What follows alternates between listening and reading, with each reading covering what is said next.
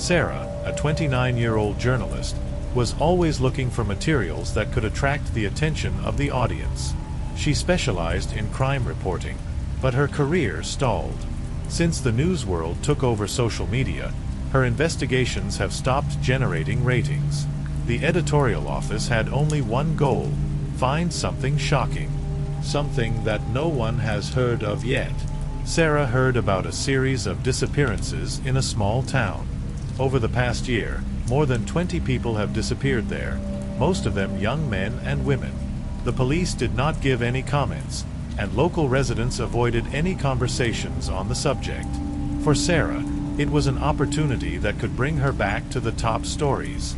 She arrived in this town late in the evening.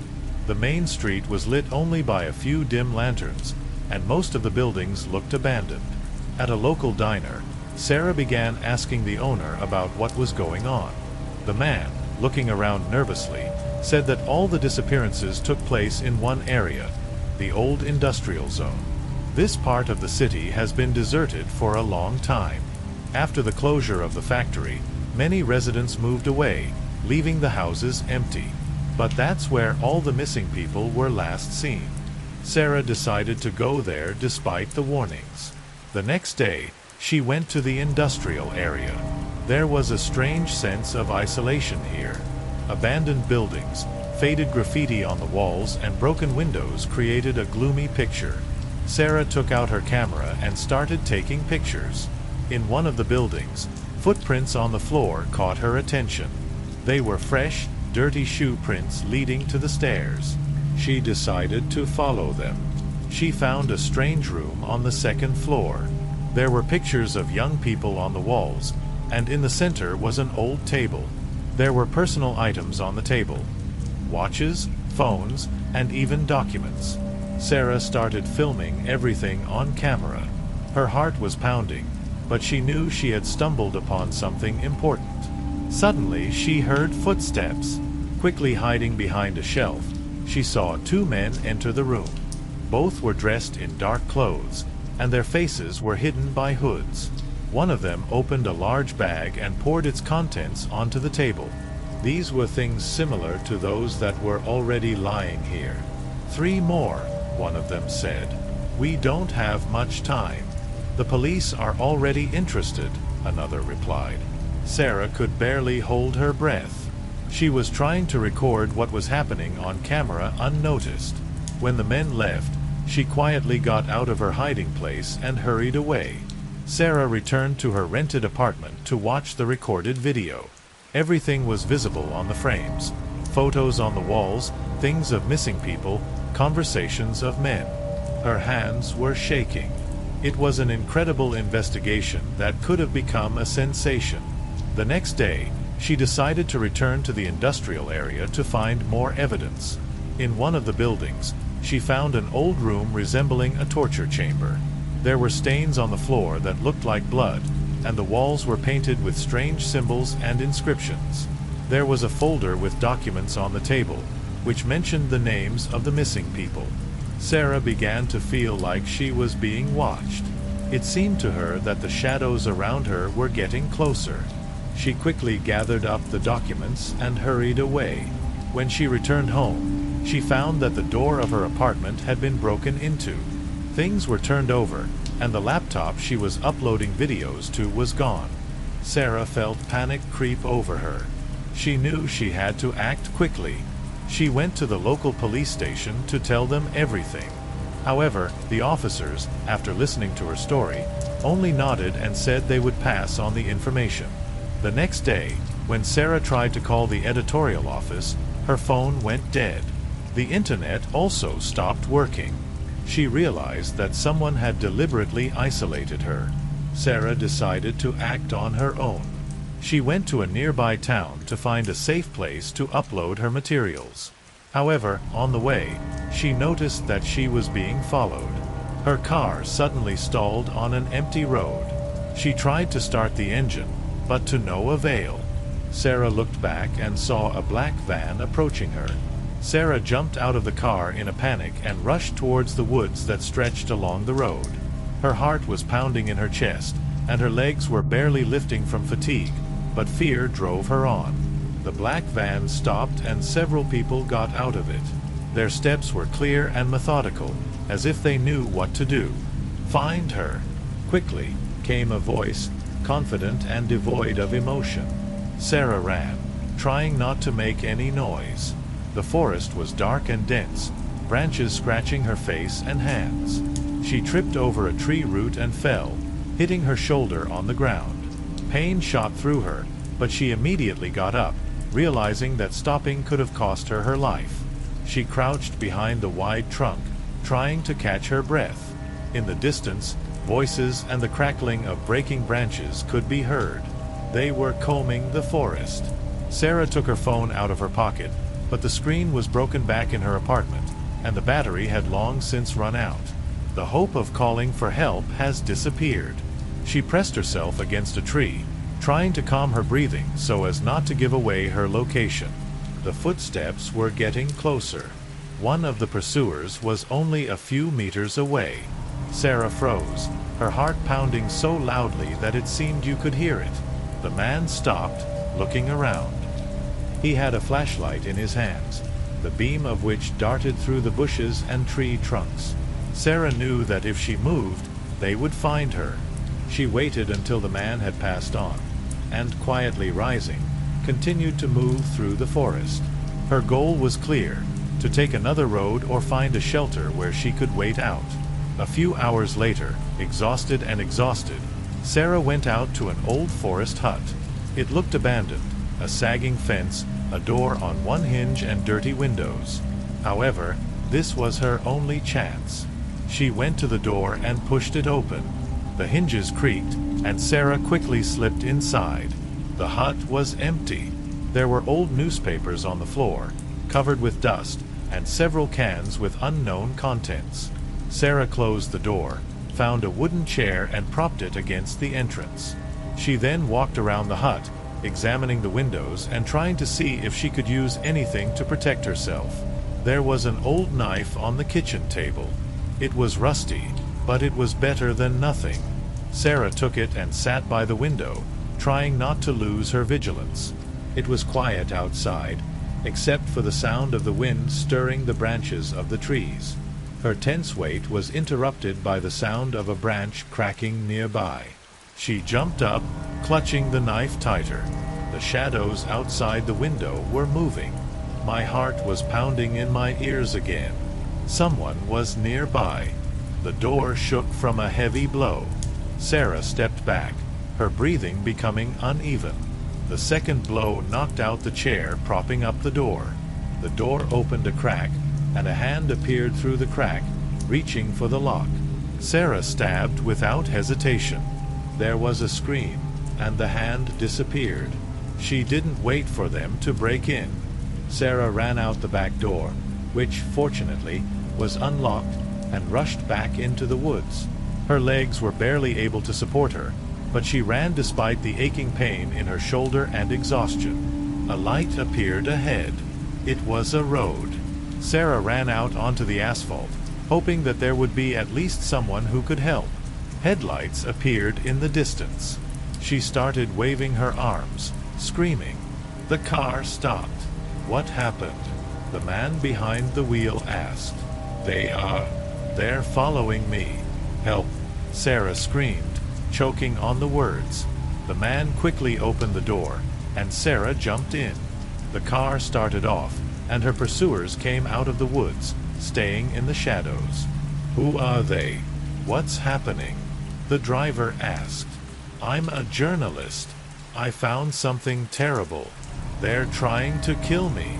The man nodded, glancing in the rearview mirror. We're safe. I'll take you to the police now. But Sarah noticed his hand reach for the button on the dashboard. The car was locked. Sarah's heart sank. Why are the doors? She began, but the man abruptly turned off the road, and Sarah realized that her escape was an illusion. The car abruptly turned off the main road, rushing along a narrow, grassy dirt road. Sarah sat on pins and needles, feeling panic take hold of her again. The man behind the wheel did not look scared or confused. On the contrary, His face expressed cold concentration. You said you were being followed, he began, without taking his eyes off the road. Who is this? I do not know who they are. Sarah was frantically trying to figure out how to escape. They broke into my apartment, then chased me.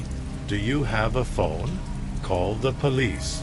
The man chuckled, but did not answer. His silence spoke louder than any words. Sarah tried to open the door, but of course it wouldn't budge.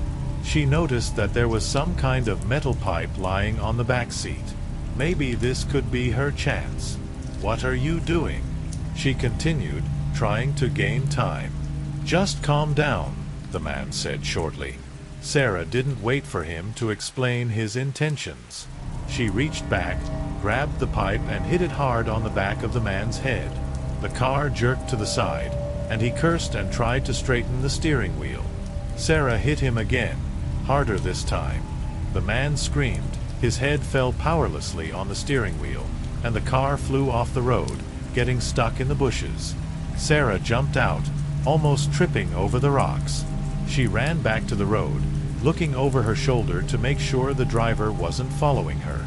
The car was parked with its headlights on, and the man did not move. Her breathing was labored, her legs were weak, but she kept moving.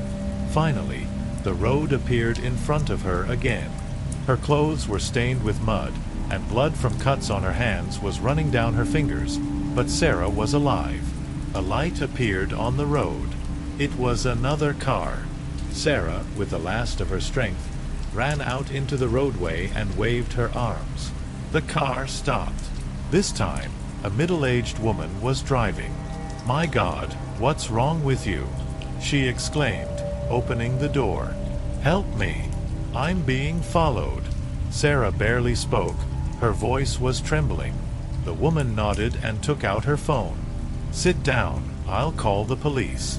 Sarah got into the passenger seat, feeling tears welling up in her eyes. The woman began to dictate the address to the operator, and Sarah looked around, afraid to see familiar figures in the shadows. The car pulled away, but they had not driven far when the woman frowned, looking in the rearview mirror. Who's that? Sarah turned around. There were several people standing on the road, their faces hidden by hoods. They didn't try to follow the car, they just stood there, as if memorizing it. Hurry up, Sarah whispered, clenching her hands into fists. The woman nodded and accelerated. A few minutes later, they entered the village. The streets were illuminated by lanterns. It was much quieter here. The woman stopped at the police station. Run inside, I'll wait, she said. Sarah ran out of the car and rushed to the building. She was met by the officer on duty, who, after listening to her confused story, immediately escorted her to the office. The police captain looked tired, but immediately got down to business. You say that you were being chased. Were you able to describe them? Sarah shook her head. There were several of them. They broke into my house. They had a van. Then, then one of them tried to catch me in the woods. The officer nodded thoughtfully, making notes. We will send patrols to that area. Do you have a place to spend the night? No, I can't go home. They know where I live. The captain looked at her with understanding. We will find you a temporary shelter. Sarah was placed in a small motel room under guard. The policeman left her, promising that in the morning they would continue to sort out the situation. Sarah lay down on the bed, but sleep did not come. Every rustle and sound from the street made her tense up. She didn't know how much longer she could endure this nightmare. At dawn, she was awakened by a knock on the door. It was the captain. We need to talk, he said, holding a folder in his hands. Sarah sat down at the table. We found something, the officer continued. The van you described is registered to a company that was recently involved in a kidnapping case. Sarah went cold. What? You witnessed something more than just a robbery. These people are professionals. We suspect that they are engaged in human trafficking. Sarah felt a cold sweat run down her back. They won't stop, right? The captain nodded. We will do everything to protect you, but you need to be extremely careful. Sarah spent several days in a shelter under police protection. All this time, she practically did not leave her room, fearing that the people who were hunting her would still find a way to get there.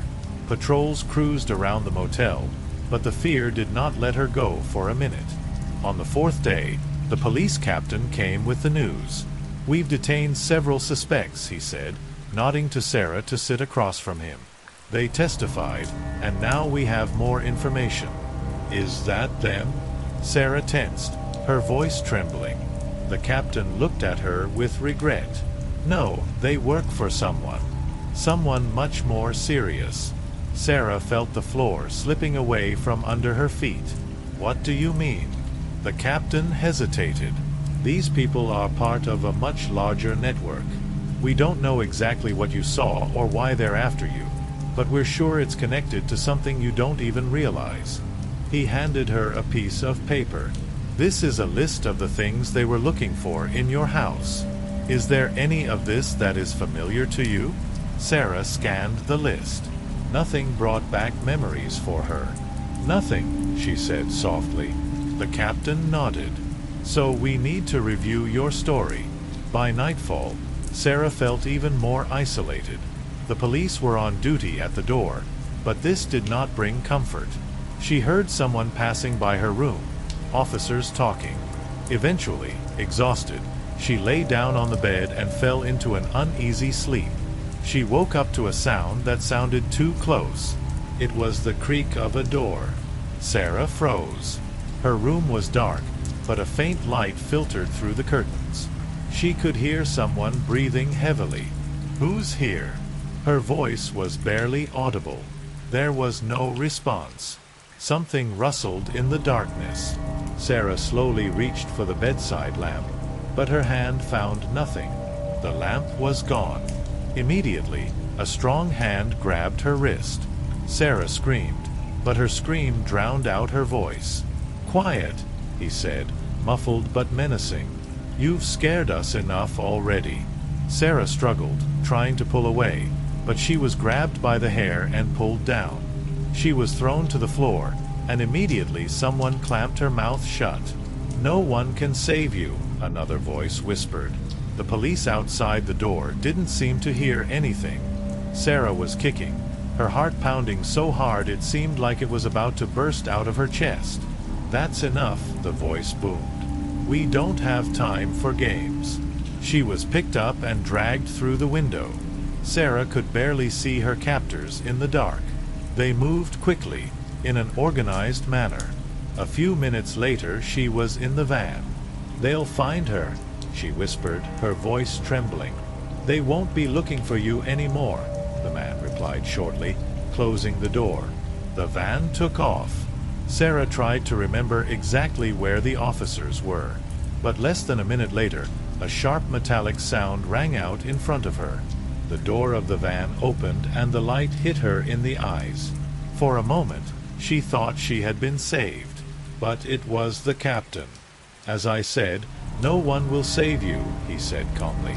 Sarah gasped in horror, realizing that all this time her protector had been part of the same network. The van sped off into the night, leaving the motel behind. Sarah knew that her fate was sealed.